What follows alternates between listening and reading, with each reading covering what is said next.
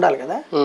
అందులో కొంచెం తక్కువ స్థలంలోనైనా ఫ్యాక్టరీ నడుపుకోవడానికి పర్మిషన్ ఇచ్చాడు. కాబట్టి ఆడు జగన్ సంస్థలో పెట్టుబడి పెట్టాడు. రైట్ అంతేగాని దాంట్లో ఏంటి? పెట్టుబడే కానీ లంచం కాదు. లంచం అయితే క్యాష్ ఇచ్చేస్తాడు. పెట్టుబడి ఎందుకు పెడతాడు?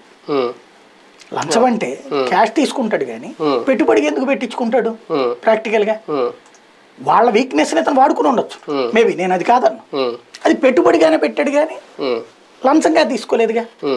వాడు ఆ షేర్లు ఆ డబ్బులు తీసుకుంటాడు. వాడు ఎప్పుడు అమ్ముకున్నా ఆ డబ్బులు వస్తాయిగా అవును. ఇప్పుడు ఈడికి ఆ రోజున ఈయనకి పెట్టినటువంటి సందర్భంలో అది పది రూపాయల షేర్ ఉంది సాక్షిగానే అది.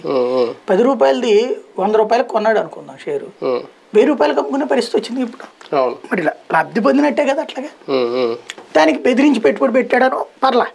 వాడెవడు అంటలేదు అమ్మక అది వదిలేద్దాం. Hmm. కానీ అది నేరం అన్నప్పుడు ఇది నేరం ఎందుకు కాకుండా పోయింది?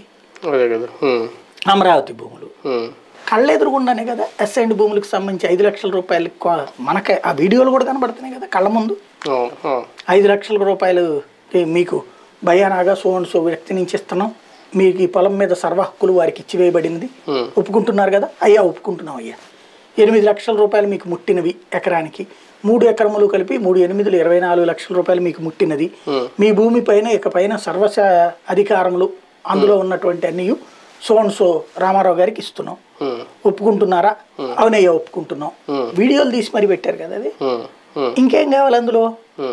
పోనీ అదేదో ఎనిమిది లక్షలకు ఐదు లక్షలకు అమ్మున్నారు తప్పేంటంటే ఆ పక్కనే ఇంకో వీడియో కనబడుద్ది. ఏంటది? చంద్రబాబు గారి ఫోటో తీసి పక్కనెట్టే ఇదే దేవుడి బొమ్మ ఫోటో తీసేసి చంద్రబాబు గారి ఫోటో పెట్టాం. వెంకటేశ్వర స్వామి ఫోటో కూడా పక్కనెట్టేసాం నాలుగు కోట్ల రూపాయలు అయింది. నాలుగు లక్షలు కూడా చేయని భూమి. అంటే నాలుగు లక్షల భూమి నాలుగు కోట్ల